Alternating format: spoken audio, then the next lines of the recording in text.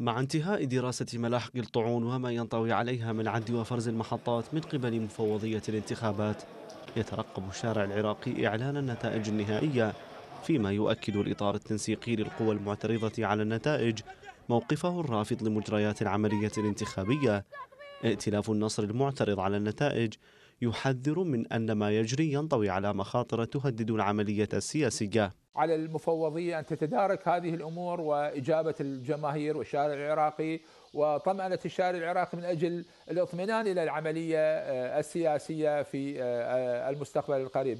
أما فيما يخص موقفنا من يعني نحن في الإطار التنسيقي نحن مع آه، سلمية التظاهر مع يعني أخذ الحقوق من خلال القانون. على صعيد آخر ومع توقع أن تأتي النتائج النهائية للانتخابات مطابقة لما أعلن عنه سابقا أعلنت كتل سياسية مواصلتها التفاوض مع كتل وأحزاب أخرى لتشكيل الكتلة النيابية الأكبر والتي ستكلف بتشكيل الحكومة.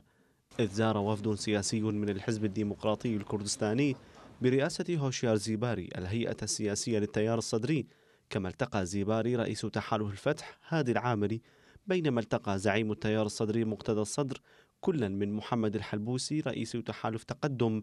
كما وبحث الأوضاع السياسية مع رئيس تحالف الحكمة عمار الحكيم ورئيس المجلس السياسي لتحالف قوى الدولة حيدر العبادي.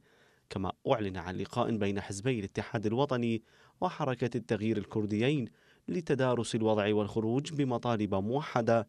تخص الكرد. بعض الكتل السياسية تريد أن تنتظر النتائج النهائية المصادق عليها من قبل المحكمة الاتحادية ويبدو أن هناك في مشكلة في قضية الاعتراض ولربما سوف يكون هناك عدو فرز كلي لجميع المحطات وذلك بقرار من المحكمة الاتحادية. وتتباين الآراء حول المسار الذي ينبغي اتخاذه لحل أزمة الاعتراض على النتائج إذ لم تزل تيارات سياسية تدعو لسياسة التوافق لإرضاء الكتل الخاسرة.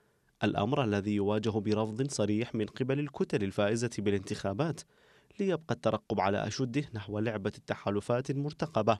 بعد تصديق النتائج للتوصل للكتلة الأكبر تحت قبة البرلمان وتشكيل حكومة جديدة تقود البلاد لأربع سنوات قادمة لبرنامج بالعراقي سرمد القاص الحرة.